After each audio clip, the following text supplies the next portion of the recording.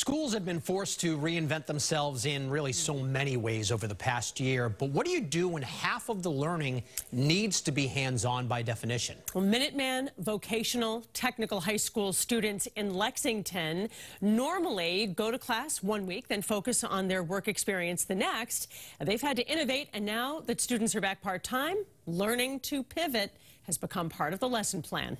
It's tonight's Eye on Education.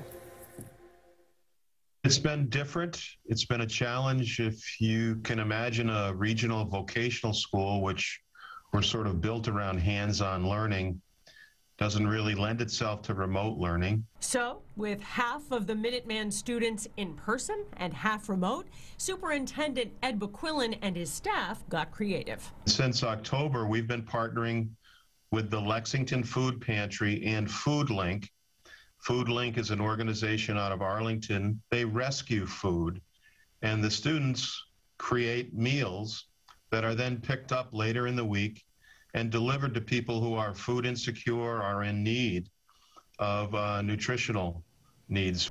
This partnership meant 3,500 meals for people in the area and students motivated to help in their community. Some of them even got a fun name, the Soup Group. Prepared meals for pickup, just the kind of flexibility that area restaurants have had to learn. To give kids a taste of the real world, to make adjustments in the business model of, of, of businesses that they own or work in. Ed says smiling students have been happy to be back and give back. And it's not just culinary students.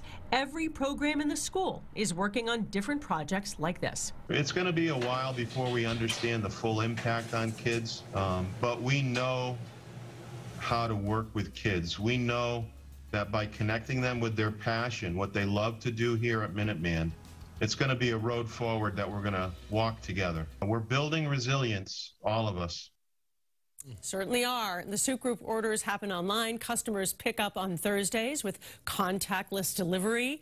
And they usually sell out by Monday or Tuesday. It's so popular. They even raise money for a scholarship fund at the school. So we have all that information on our website, cbsboston.com. It's win-win. I mean, the kids are there. They're feeling great about it. The community is getting some great stuff as well. Just love what they're doing there. Yeah, they will have learned a lot from this. Yeah.